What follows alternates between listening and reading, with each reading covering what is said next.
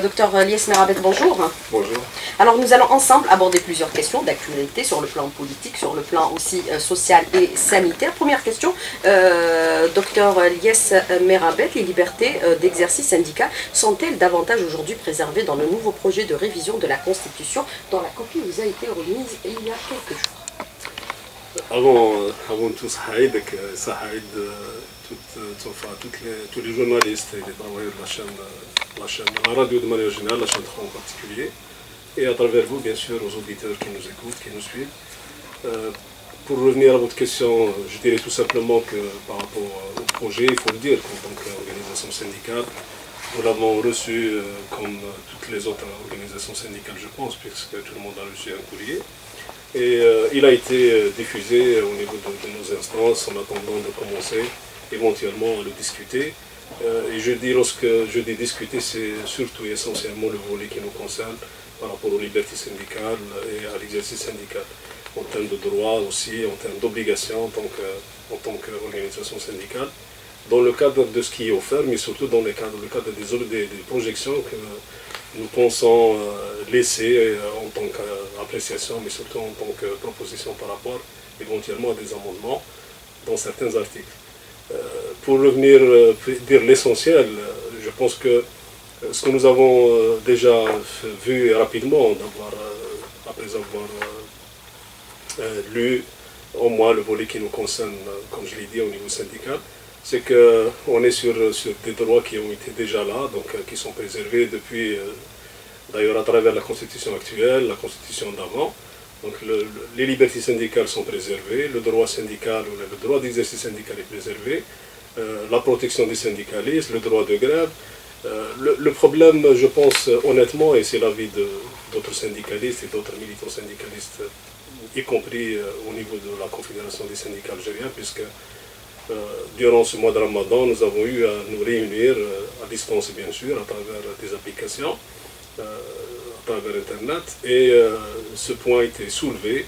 euh, et euh, on est tous unanimes pour dire que le problème n'est pas au niveau de la Constitution, il est au niveau des, lois organiques, donc toutes les lois qui vont en découler pour essayer de, mettre en application toutes ces garanties, tous ces droits qui sont consacrés dans, notre Constitution.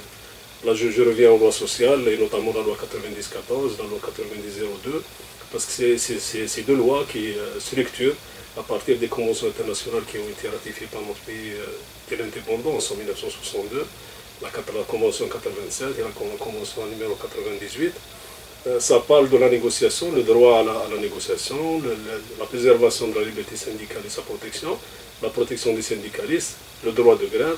Donc euh, tout ça est consacré justement à travers ces, ces deux conventions essentielles ratifiées. Euh, c'est- transcrit dans les lois 90, euh, 14 et 90 02. Et par rapport aux applications, il y a beaucoup de problèmes. Euh, lorsque je cite, euh, je cite rapidement des situations comme euh, le fait que des organisations syndicales se sont constituées depuis des années, jusqu'à présent ils ne sont pas enregistrés. Au passage, je fais allusion aussi à la Confédération de- des syndicats algériens, bien que le dossier est au niveau du, du ministère du Travail. L'actuel ministre du Travail nous a reçu, a reçu nos représentants dès son installation et un engagement a été laissé justement pour, pour assainir cette situation et euh, euh, laisser RCPC d'enregistrement pour la, CSA, la Confédération. Mais jusqu'à présent, nous attendons les suites justement pour mettre en place cet engagement euh, de manière formelle. Mais quand on, un peu, on feuillette un peu le- les dispositions contenues dans ce projet euh, de révision de la Constitution, on voit que certaines euh, décisions ou certaines dispositions euh, sont allégées. Par exemple, le verrou administratif pour la création de syndicats sont quasiment inexistants puisque c'est soumis seulement à une simple autorisation, une demande. Est-ce que c'est une avancée? Non, non, on le fait déjà. On le fait déjà au niveau des, des- des entreprises.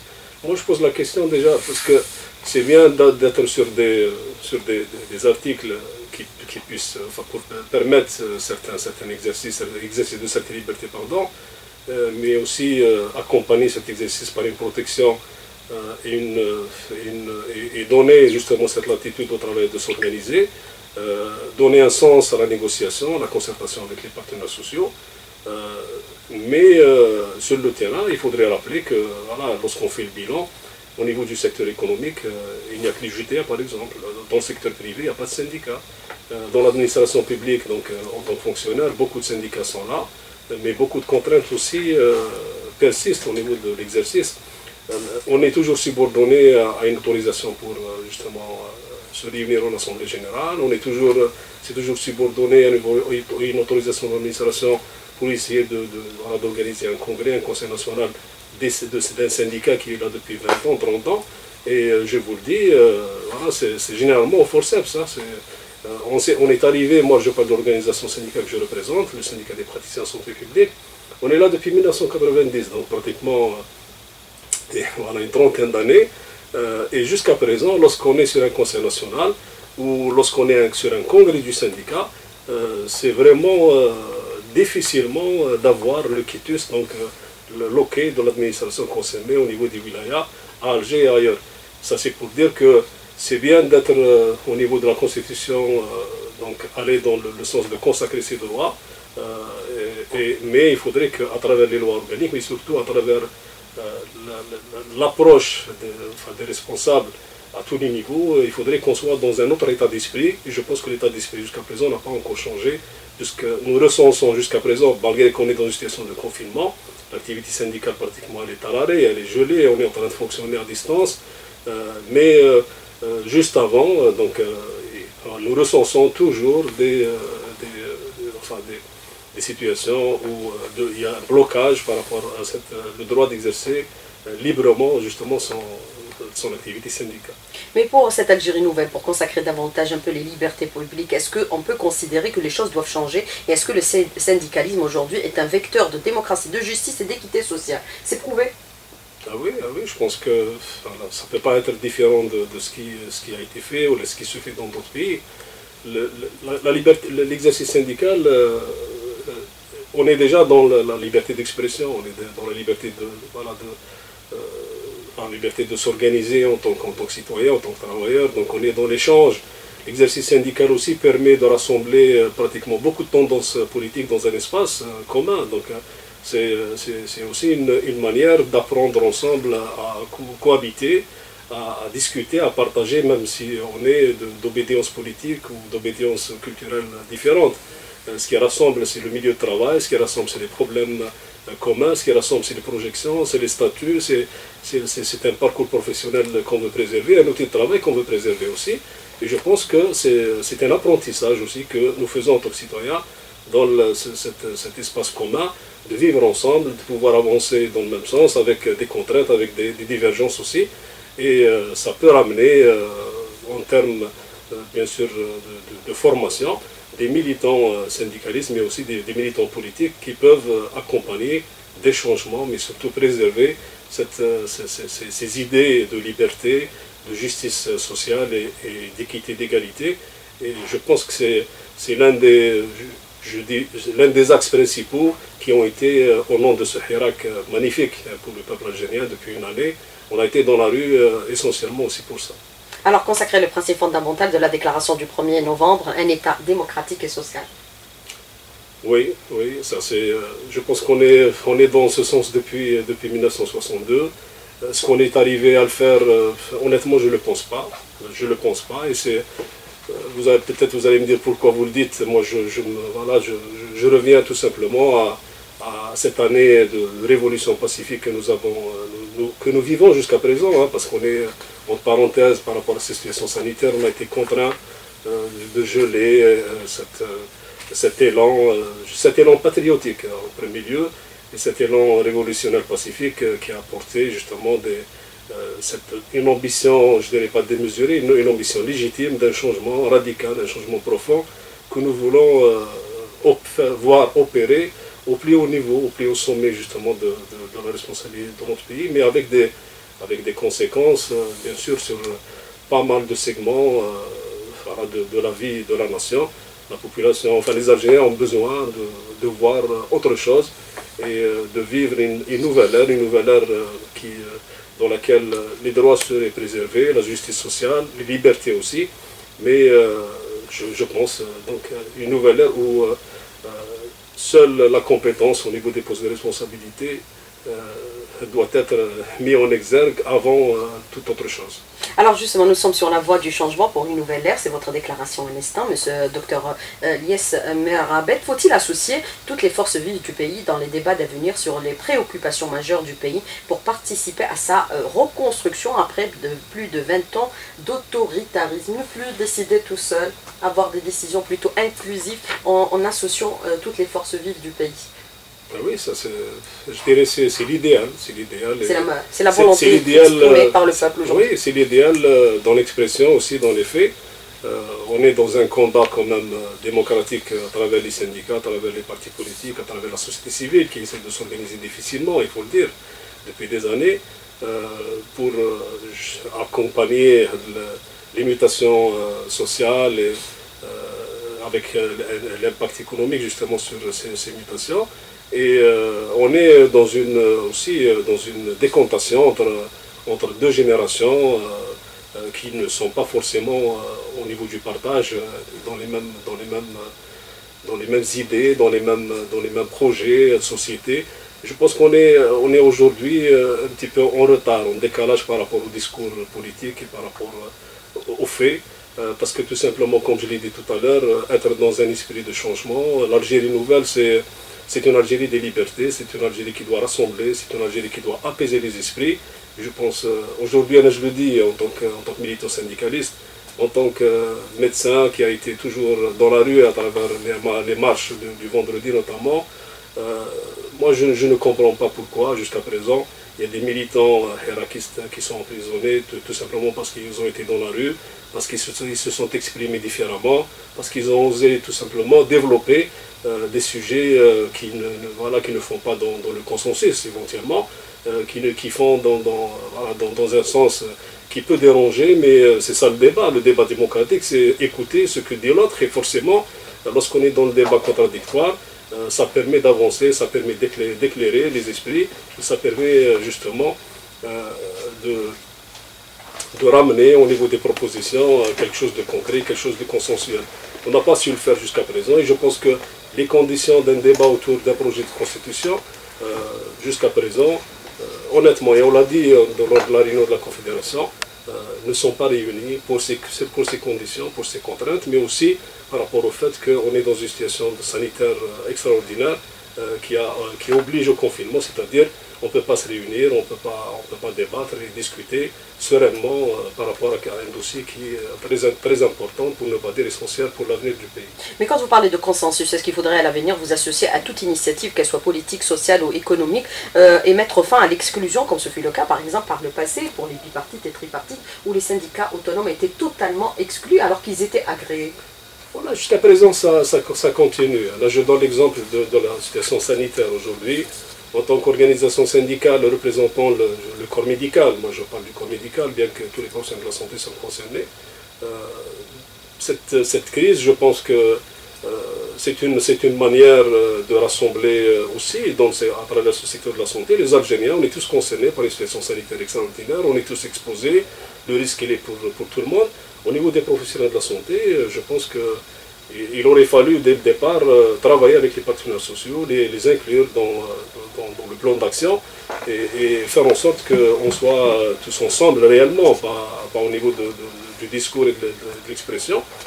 le syndicat national des praticiens de santé publique n'a pas été convié, n'a pas été associé dès le départ dans le plan d'action qui a été mis en place à travers sa réflexion, à travers ses projections, mais surtout à travers son application.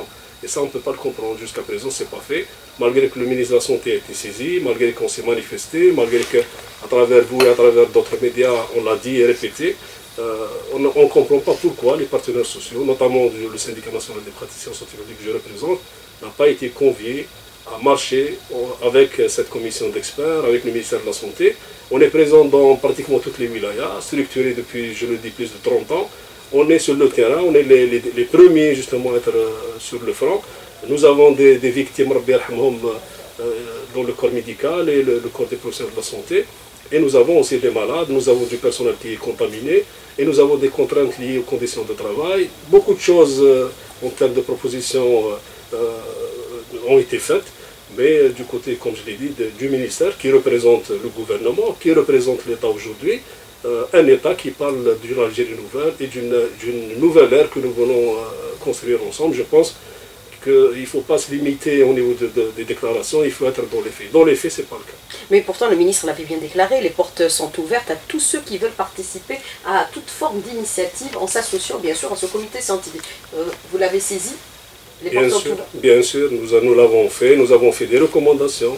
Dès le, mois de mars, le début mars, nous avons fait euh, des recommandations où nous avions euh, notamment, nous n'avons pas parlé de, revendications sous-professionnelles. Nous n'avons pas été dans le, sens de, de, demander des, solutions à nos problèmes. Jamais nous avons été euh, dans le, cadre de situation sanitaire de crise pour alerter, pour laisser des recommandations. À l'époque, déjà au début mars, nous avions euh, soumis euh, des propositions par rapport à la fermeture des frontières, la mise en quarantaine des voyageurs qui rentraient en Algérie, y compris des Algériens. Nous avons aussi soumis l'éventualité de mettre en place des structures euh, distinctes, donc identifiées euh, spécialement pour le Covid avec du personnel aussi euh, qui doit affecter dans ces structures, ça n'a pas été retenu. Nous avons aussi parlé du problème du port de bavette et nous avons insisté sur les conditions de travail et notamment le, problème des, professionnels de la santé malades qui devaient, être, qui devaient bénéficier d'un projet exceptionnel ou spécial. Et nous avons aussi saisi le ministre par rapport au cas des femmes enceintes. Malheureusement, toutes ces recommandations, je le dis de cette manière, n'ont pas été euh, au niveau de l'intérêt euh, du ministère et des responsables. Alors, euh, docteur euh, Lies moi je voudrais revenir avec vous, justement, c'est par rapport à votre revendication, un débat inclusif qui associe toutes les forces vives du pays sur tous les aspects qui concernent l'avenir de l'Algérie pour tracer ensemble les contours de cette Algérie nouvelle à laquelle nous aspirons tous aujourd'hui. Alors, professeur Lies Merabet, dans le domaine de la santé, nous avons vu que plusieurs réformes ont été annoncées qui ont mis à nu pratiquement les faiblesses de notre système de santé décrié depuis quelques années déjà. Est-ce qu'il va falloir aussi euh, réformer et tout revoir de faute en comble, à tous les niveaux, dans le domaine de la santé oui, effectivement, mais plus sérieusement. Plus sérieusement, ben, je le dis de cette manière. Parce Pourquoi vous dites plus sérieusement? Parce qu'on ne l'a pas fait de manière sérieuse jusqu'à présent. On avait annoncé déjà par le passé des réformes. Oui, je rappelle tout simplement, et vous le savez très bien, qu'on a été, euh, on est dans la réforme euh, pour le système de santé depuis, depuis les années 2000. Hein. Ça a commencé... C'est le ministère de la Santé et de la réforme hospitalière. depuis 2004, exactement, l'installation de la commission nationale chargée de la réforme hospitalière. Donc euh, l'appellation a changé depuis. Et depuis, euh, qu'est-ce qu'on a pu faire? Qu'est-ce qu'on a changé? Est-ce qu'on a été au moins euh, au niveau de une, un, un, parcours parsemé par des étapes où on a pu faire des évaluations?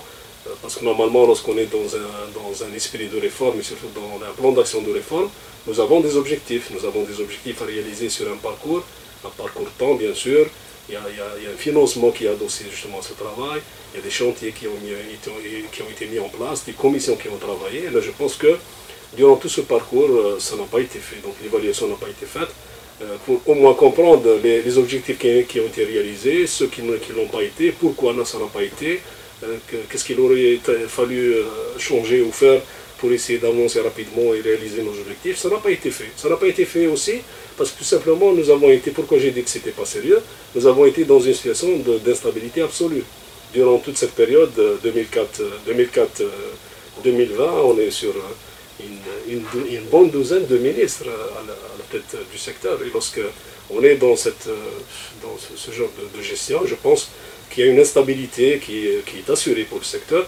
Et l'instabilité euh, voilà, ne peut pas se marier euh, avec euh, un projet de réforme aussi profond et aussi essentiel pour un secteur qui aujourd'hui fait, fait l'unanimité par rapport à son intérêt et son impact sur, sur la santé des, citoyens, sur l'économie, sur, les échanges, sur les relations, et au niveau national, mais aussi au niveau international. Donc je pense qu'il faudrait y aller rapidement, mais il faudrait y aller avec une volonté politique adossée, une volonté politique soutenue. Je pense que euh, c'est ce qui a été par, par Monsieur le Président de la République, M. Tebboune, lors de, sa dernière sortie, lorsqu'il a vu les, professionnels de la santé venir il n'a pas cessé de répéter que c'est déjà bien le fait qu'à ce niveau-là de la responsabilité, on reconnaît que nous sommes sur un système quand même qui connaît beaucoup de difficultés, pour ne pas dire défaillant, on n'est pas défaillant, mais c'est un système de santé quand même qu'il faudrait repenser euh, dans, le cadre, dans un contexte démographique qui a changé, dans un contexte économique qui est propre à nous, dans un contexte sanitaire aussi, épidémiologique qu'il faudrait euh, euh, mettre à jour. Et là, je, pense qu'il y a beaucoup de chantiers qui doivent être.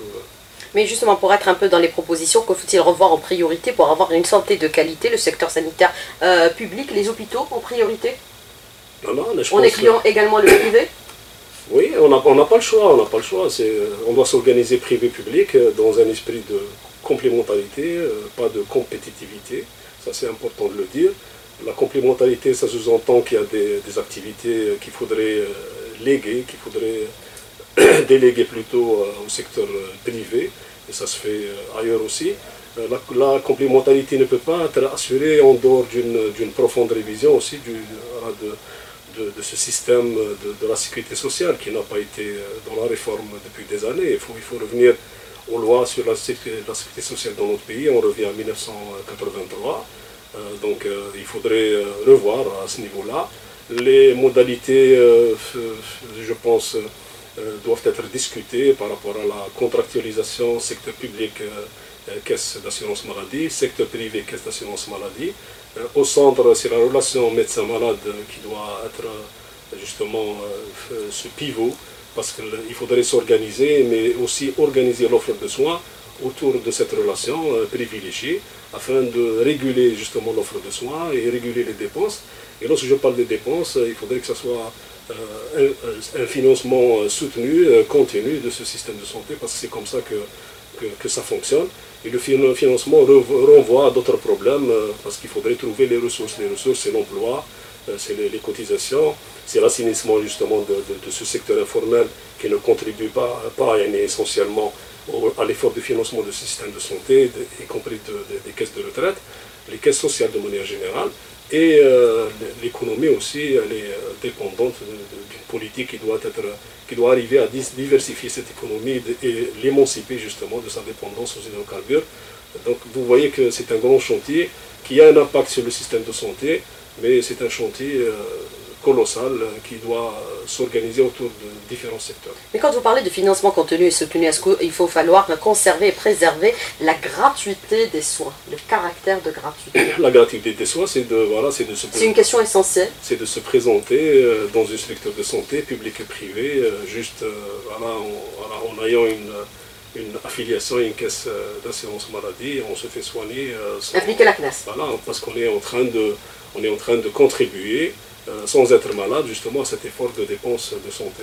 La gratuité euh, sans assurance maladie, c'est pour les nécessiteux, pour ceux qui sont euh, au chômage, c'est pour les, voilà, des, familles qui n'ont pas de revenus. Donc il faudrait les identifier, c'est un travail à faire. Il faut, dans, notre pays, malheureusement, on n'arrive pas à identifier clairement justement toutes ces situations pour des considérations que je ne peux pas comprendre. Euh, et on ne peut pas aussi identifier ceux qui ont beaucoup d'argent qui doivent contribuer à Comme c'est le cas pour ce qui a été réalisé il y a quelques jours, hein, c'est-à-dire la convention CNAS et Santé pour la prise en charge des femmes enceintes dans les cliniques privées. Oui, c'est une solution euh, qui a été mise en place en urgence, euh, parce que la prise en charge de la femme enceinte, pas uniquement l'accouchement et la césarienne, la prise en charge de la femme enceinte, c'est surtout en amont, et là ça, ça renvoie à l'essentiel. La prévention et les programmes de prévention, les programmes de santé et de prévention, euh, qu'on dispensait justement à ces femmes, qu'on dispensait à beaucoup de, malades dans nos PMI, dans le circuit de santé de base. Et ça, on a tendance à oublier. On est plus dans la thérapeutique, on est plus dans l'exploration pointue, on est plus dans la prise en charge des conséquences justement de cette politique de prévention que nous avons abandonnée quelque part. Et on est en train de récolter, euh, récolter enfin je dirais pas des catastrophes, mais des complications de situations qu'on aurait pu euh, prévenir. C'est valable pour la femme enceinte, Lorsqu'on parle de la femme enceinte, euh, je dis au niveau des PMI, nous manquons de, sages-femmes. Nous manquons de sages-femmes, c'est un manque euh, absolu. Donc, euh, et lorsqu'on manque de sages-femmes, c'est-à-dire accompagner cette jeune femme enceinte qui vient, qui est en train d'apprendre c'est quoi la grossesse, c'est quoi un accouchement, comment s'occuper de son petit, l'allaitement maternel, parce que il faut revenir à quelque chose d'essentiel, parce que ça préserve du cancer du sein, et c'est le, premier euh, concert du c'est le premier concert pour la femme en Algérie, pratiquement 12 000 cas chaque année. Donc on est, c'est des programmes qui sont interconnectés et, qui ont un impact direct sur le, le, coût justement et la dépense de santé. Il faut plus être dans le... D'ailleurs c'est l'essence même de, notre système de santé. Euh, L'État fait dans le soutien justement de, de, la prévention et des programmes de, prévention, il les assure gratuitement, mais on constate que c'est un petit peu délaissé et on est plus, on, met en exergue plus justement la prise en charge thérapeutique, l'exploration, et ça, ça coûte beaucoup d'argent. Mais euh, le président de la République, lors de son déplacement justement à l'hôpital de Benimessous, il avait qualifié pratiquement notre système de santé euh, d'archaïque, qui s'est même engagé à revoir le système de santé national et améliorer les conditions de travail des professionnels de la santé. Avec cette crise euh, sanitaire, enfin une reconnaissance par rapport aux efforts qui sont consentis aujourd'hui par les médecins, puisque vous avez déploré que nous n'avons même pas réussi à garder les médecins que nous formons. Nous perdons pratiquement l'équivalent de 200-300 médecins annuellement. Et bien sûr, on ne peut pas maintenir nos compétences avec, euh, je le dis, avec, euh, les salaires que nous proposons aux professionnels de la santé de manière générale. Moi, je parle du corps médical puisqu'on est un syndicat de médecins, donc le syndicat national des praticiens de santé publique représente les médecins, les dentistes et les pharmaciens, spécialistes et généralistes. Donc je le dis, euh, je le dis rapidement, euh, on ne peut pas intéresser un médecin généraliste ou un dentiste et un pharmacien avec un salaire à peine de, 45, 45 000, 50 000 dinars. On ne peut pas intéresser un spécialiste, un chirurgien, un ophtalmologue, un dermatologue, un pédiatre, un gynécologue de rester dans le secteur public et faire une, carrière dans le secteur public avec 60 000 dinars, 65 000 dinars de salaire. Ça, c'est misérable comme, situation. Euh, aujourd'hui, euh, on, nous a mis, on a, jeté, je dis, on nous a jeté en pâture par rapport à une indemnité qui a été décidée par le président de la République et, je le remercie au passage parce que c'était dans le sens d'inciter les professionnels de la santé, de les remercier. Euh, le ministère de la Santé s'est organisé de manière euh, incompréhensible autour d'une indemnité que nous n'avons pas demandée parce que nous demandons une revalorisation euh, profonde justement de notre carrière professionnelle à travers des salaires décents, des salaires conséquents par rapport au travail, par rapport au risque, par rapport à la spécificité justement de ce secteur. Nous demandons qu'il y ait une, pourquoi pas la création, ça c'est une demande je pense à faire. Nous l'avons fait à M. le Premier ministre, M. Zerad. Nous avons laissé un courrier, ça fait, ça fait plus de, de 10 jours maintenant, où nous avons énuméré toutes ces situations. Nous demandons la création d'une fonction publique hospitalière, donc sanitaire hospitalière afin d'accompagner la spécificité de, ce secteur à travers ses composantes, à travers le niveau de qualification qu'il y a dans ce secteur, mais aussi par rapport aux conditions de travail. C'est un secteur qui fonctionne H24, c'est un secteur qui travaille la nuit, c'est un secteur euh, qui, euh, qui, euh, qui, est soumis à un risque continu, et je pense que tout le monde l'a compris à travers ce que nous sommes en train de vivre aujourd'hui, et la contrainte aussi des conditions de travail, des gens qui ne sont pas rentrés chez eux depuis deux mois, trois mois, un mois pour certains. toutes ces difficultés euh, nécessiterait justement un accompagnement à travers un cadre réglementaire qui serait un petit peu différencié du cadre figé dans lequel on est aujourd'hui de cette euh, fonction publique générale qui n'arrive pas à comprendre ni à traduire justement nos, inspirations. Donc je pense que euh, revoir le système de santé dans sa profondeur, c'est redonner aussi sens à, à, ces professionnels de la santé, donc le goût de travailler dans le secteur de la santé publique, arrêter l'hémorragie du secteur public vers le secteur privé, mais surtout euh, intéresser nos jeunes pour rester en Algérie parce qu'il y a beaucoup qui quittent le pays. C'est devenu un, projet pour les familles. C'est devenu un projet pour les familles. Euh, on fait médecine pour partir à l'étranger. Ah et on encourage sa fille, son, enfant, son garçon euh, de, voilà, de tout faire pour quitter le pays et aller travailler ailleurs et c'est pas normal. On en a perdu combien? Est-ce qu'on peut avoir des chiffres peut-être exhaustifs? Moi je reviens toujours aux chiffres.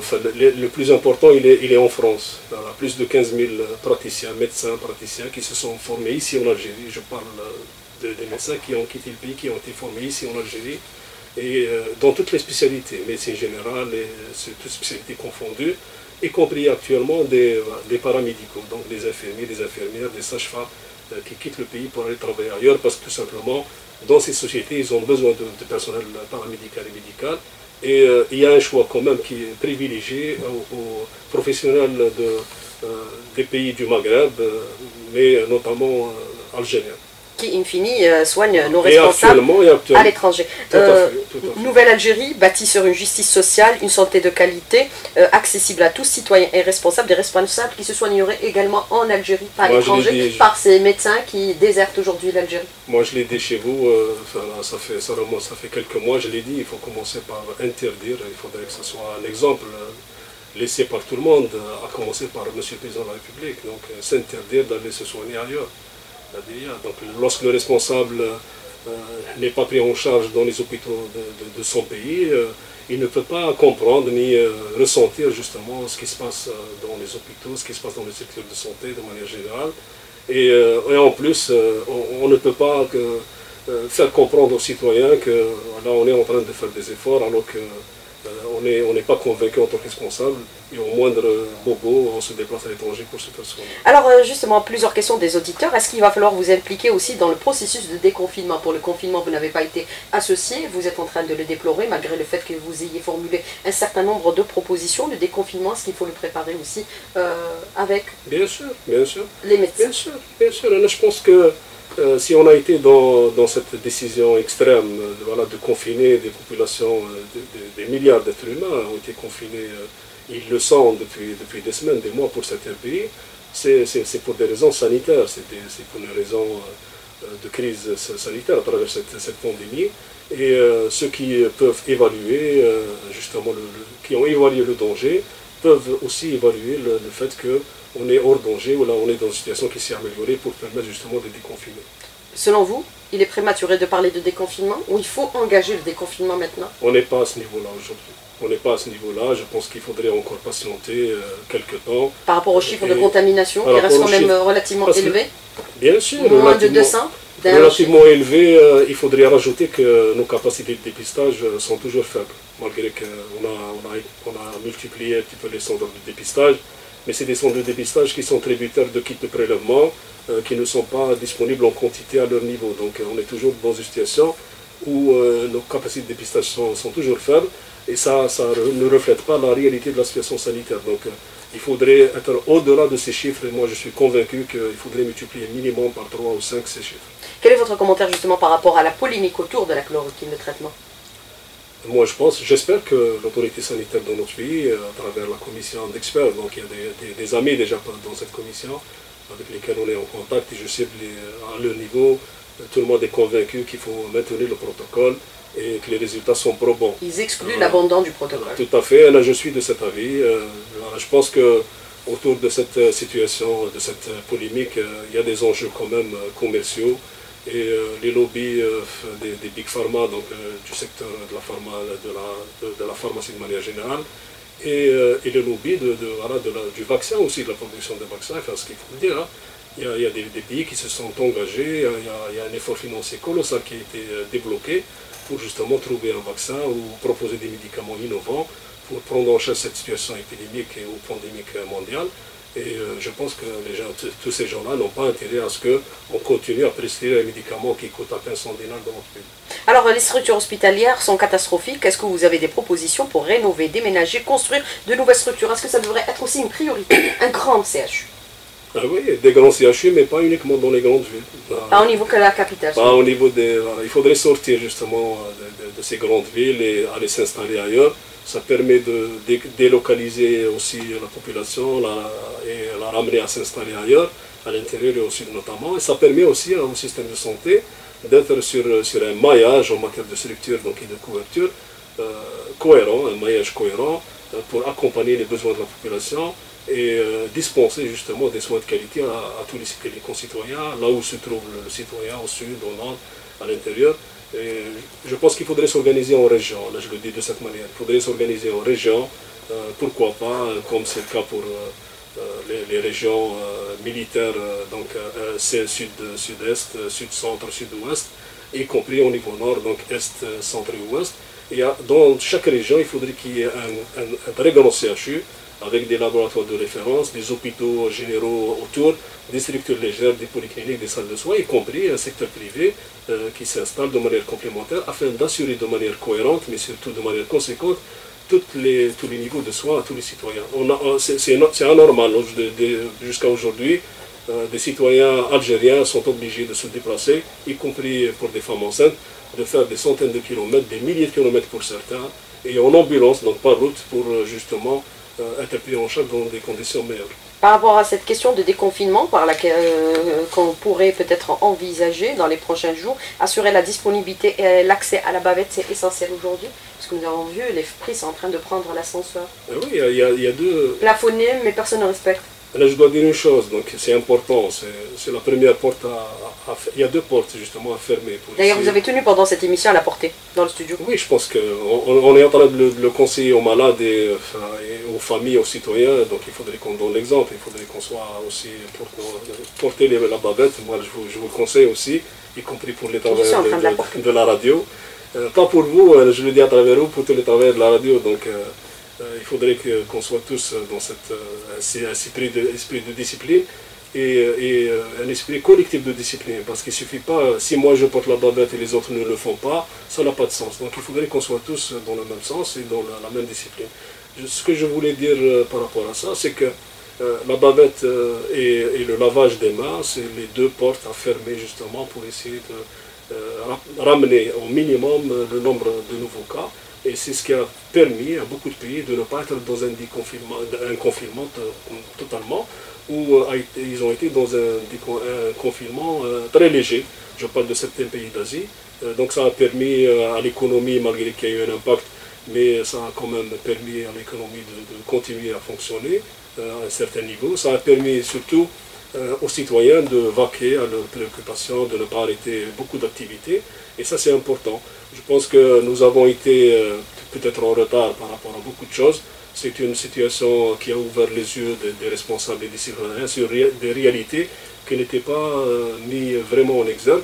J'espère que nous allons tenir, retenir les leçons et aller de l'avant dans un futur très proche. Donc la bavette, c'est essentiel. Il faudrait que ça soit disponible. Il faudrait que ça soit disponible, disponible mais dans, les normes aussi. Il faudrait que ça soit des bavettes de qualité. Il faudrait que ça soit accessible à travers euh, des, prix, euh, je dirais, euh, à la portée de la majorité des Algériens. Pourquoi pas gratuitement dans les, dans les services de transport, par exemple? Ça peut être distribué gratuitement, pas gratuitement, en, en, apportant justement un plus au niveau du ticket de transport, mais de manière vraiment symbolique. 40 dinars pour la bavette euh, artisanale, 90 dinars pour euh, la bavette vendue euh, en pharmacie, c'est accessible, c'est excessif. Haram, je le dis haram. Pour la plupart des Algériens, c'est pas possible. 40 dinars pour une, pour une famille qui, qui, qui, pourrait en avoir besoin pour 3, 4, 5 personnes. La vanne, 40 dinars. Pour les 40 dinars, celle 40 dinars, 40 dinars recyclables, je pense qu'il faudrait être dans, dans le respect des normes. Mais moi, personnellement, euh, j'ai vu euh, de, mes propres yeux, à la veille de l'Aïd, j'ai été euh, chez un magasin, enfin quincaillerie, je voulais acheter des trucs pour les bricoles à la maison, et ben je trouvais chez deux quincailleries, deux, deux, magasins, des bavettes qui, qui se vendaient au milieu de la peinture, au milieu des, boulons. Et des... Donc il faudrait s'organiser, il faudrait être attentif justement à ce genre de détails et ne pas faire n'importe quoi. les pharmacies, je pense, les supérettes, les grandes surfaces commerciales, euh, pourrait être autorisé justement à aider à ce que... Ça peut être aussi distribué gratuitement dans les structures de santé, on est présent partout, notamment les structures publiques. Lorsqu'on peut les distribuer gratuitement, ça peut se faire à ce niveau-là, on ne peut pas vendre, c'est pas notre vocation. Donc il faudrait s'organiser, s'organiser avec euh, ceux qui peuvent aussi euh, apporter des solutions, la proposer des solutions. Malheureusement, on ne sait pas le faire.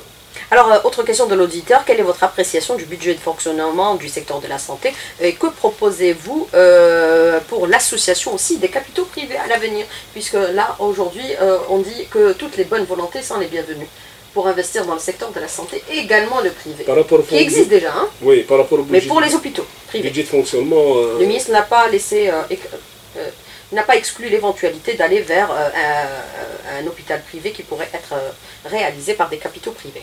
Eh ben, on est prêt à, donner un avis aussi euh, dans, des réunions officielles. Vous voulez être associé à tout Dans des réunions officielles aussi. Le partenariat social, ce n'est pas, pas, pas les, grèves et la protestation, ça c'est une conséquence justement de cette concertation, de, cette exclusion, de cette concertation qu'on n'arrive pas à assumer, à, assurer aussi aux partenaires sociaux on est toujours poussé justement à cet extrême et aller, euh, voilà, nous, euh, la revendication, c'est un moyen d'expression. Tout à fait. Donc, euh, je le dis par rapport à ce que vous avez posé comme question.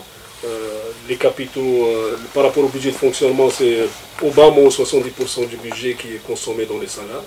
Donc, ce qui reste, c'est 15% en moyenne, 15 à 20% c'est les médicaments et tous les produits consommables. Donc euh, voilà, qu'est-ce qui reste aux hôpitaux? L'investissement privé, oui, mais à condition, à condition d'assurer quelque chose de fondamental pour le professionnel de la santé, mais aussi et surtout pour le malade, donc les citoyens, euh, un système de, sécurité sociale euh, fort et performant pour accompagner justement les dépenses de santé et couvrir justement ces dépenses pour les assurés sociaux. Docteur Lies Mirabat, merci d'avoir répondu à nos questions, de rester en direct avec nous ce matin dans le studio. Merci beaucoup, bonne journée, à bientôt, au revoir.